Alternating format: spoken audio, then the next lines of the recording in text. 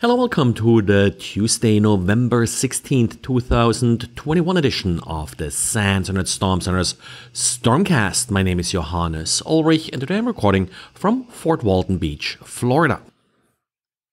We got an emergency update from Microsoft, and this update does not actually fix a security vulnerability. Instead, it does fix a problem where you're no longer able to authenticate after applying the Microsoft patches from November 9th. This affects you if you're using a single sign-on in Active Directory on-premise or via the hybrid Azure Active Directory. And if you're not using essentially the latest and greatest version of Windows Server, so Windows Server 2019 and earlier are possibly affected by this uh, bug. If you're infected, you probably know it because users uh, were not able to authenticate. And yes, then please update your systems with uh, this emergency patch. Of course, you may have already backed out of uh, the November 9th update. So if you're brave, then apply that again and then try Microsoft's uh, new update. And talking about Active Directory, uh, one issue that uh, our handler Rob uh, keeps running into is that Microsoft won't allow you to paste a password into the password change uh, GUI. And that, of course, gets in the way of best practices these days. You aren't really able to use any uh, password safes and such uh, for these passwords. So what Rob came up with is a little script that will allow you to copy paste the password and the script will then change it for you within Active Directory.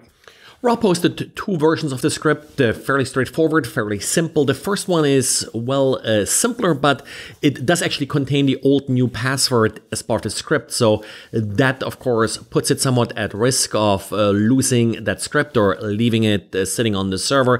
The second script, a little bit more elegant. It will actually prompt you for the old new password, but then allow you to paste the password into the prompt. So that way you're able to use most standard password managers.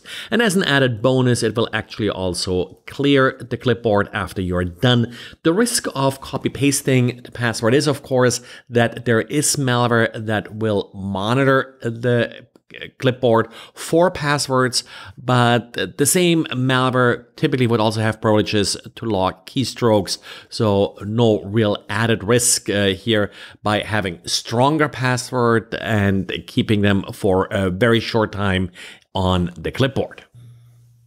And going with the theme that there is probably no user configurable page or similar uh, features that aren't being used uh, to either uh, deploy phishing pages or distribute malware, Qihoo 360 came across a botnet that apparently uses NameSilo parked domain pages in order to distribute malware.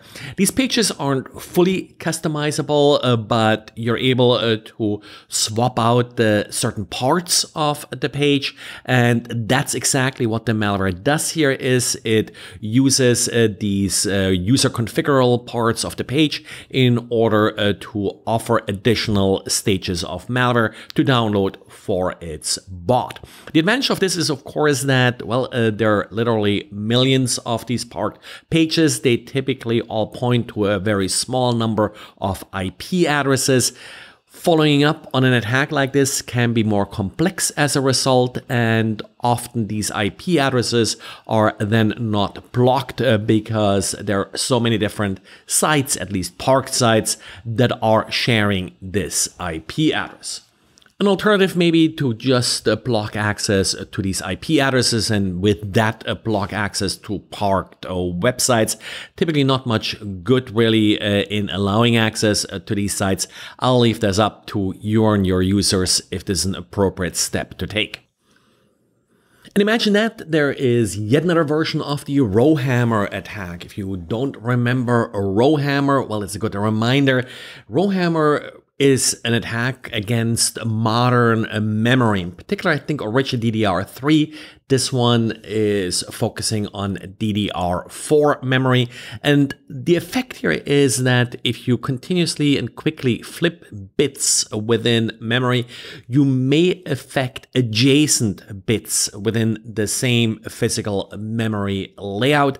And that adjacent bit, of course, uh, that adjacent row of bits really uh, may be part of software running under different privileges, a different user and it may contain confidential information that you as the user who is doing the bit flipping doesn't have access to. So it's sort of an ultimate hardware level uh, privilege escalation vulnerability has been patched in the past uh, by changing memory layouts, by uh, changing also some of uh, the way how operating systems access memory. But in the end, as this paper does show, it's not fully mitigated and still exploitable. What this really means in the bigger picture is that if you are running software on shared hardware, it's very difficult, if not impossible, to isolate these different processes perfectly from each other. We had all the different CPU flaws that essentially sort of uh, resulted in uh, similar vulnerabilities. And yes, yet again now, Rowhammer with an attack that appears to be very difficult, if not impossible, to fully mitigate.